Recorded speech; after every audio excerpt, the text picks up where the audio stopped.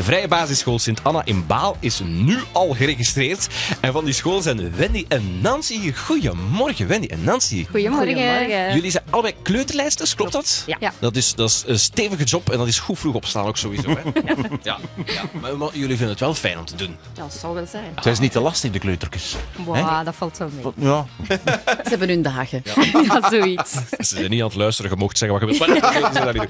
Eh, eh, is het zeer welkom op school, de hulp van een Rode Ja, absoluut. Want we merken toch door de jaren heen dat er meer en meer, zelfs ook bij kleuters, dat we toch merken dat er eh, regelmatig kindjes zijn die eigenlijk niet zo goed in hun vel zitten. Zelf al zo vroeg? Ja, absoluut. Amai, Ja. ongelooflijk. Wel- Welk project hebben jullie gekozen met jullie school? Wat gaan, wat gaan jullie doen om die leerlingen dan sterker te maken, bijvoorbeeld die kleine kindjes dan bij jullie?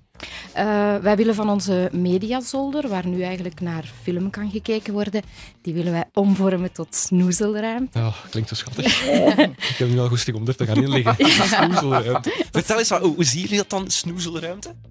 Ja, onze, onze zolder hè, die zouden we indelen in vier delen. hè. We zouden zo een beetje rond de zintuigen willen werken.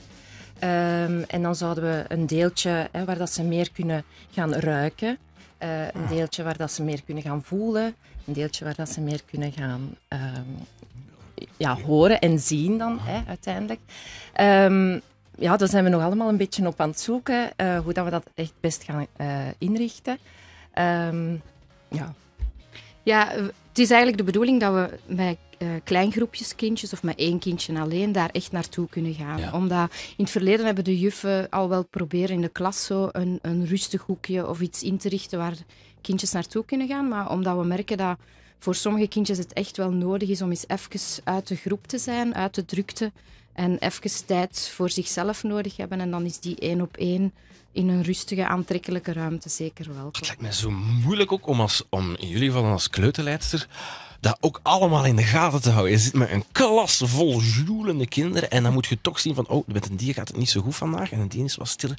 Hoe doet je dat, jong? Echt, waar, ik vind dat zo straf. Ja, dat is ook een beetje ervaring door de jaren heen natuurlijk. Ja. Ehm, en je voelt dat wel snel aan als juf hoor, in een klasgroep. Dat is goed. Wij, wij zijn dat gewoon om voor een groep kleuters, Ja. ja. ja met een groep kleuters. Dus je, je weet na een tijdje wel. eh, Ze zijn bij jullie in goede handen. Dat, dat is het. dat hopen we toch. Dat hopen we toch. Maar zeker als er zo een, eh, een snoezelruimte zou kunnen komen op je school. Hebben jullie al een idee hoe jullie centen gaan inzamelen dit jaar? Of nog totaal niet? Jawel, jawel, we hebben er al over nagedacht. Ehm, en we zouden op ons jaarlijks herfstfeest, dat ergens in oktober plaatsvindt, eh, een rode neuzen hoekje willen inrichten, een standje maken en daar zo allerlei verkopen. Eh, appelmoes, ehm, eh, Sa- bloembollen.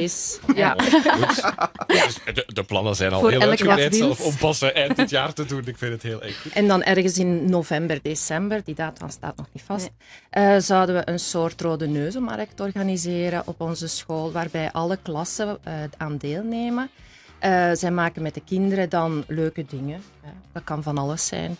Ehm, en die zouden we dan verkopen op die rode neuzenmarkt, eh, waar dat iedereen eigenlijk op uitgenodigd is. Kijk, tof. Als er mensen nu geïnspireerd zijn, registreren rodeneusdag.be en zelf ook gewoon een eigen ideetje of een ander ideetje of hetzelfde ideetje gewoon voorstellen. En dan komt dat in orde. Ik ga jullie er al gigantisch veel succes mee wensen. En merci om zo vroeg tot hier te komen. Dankjewel. Dat is heel graag gedaan.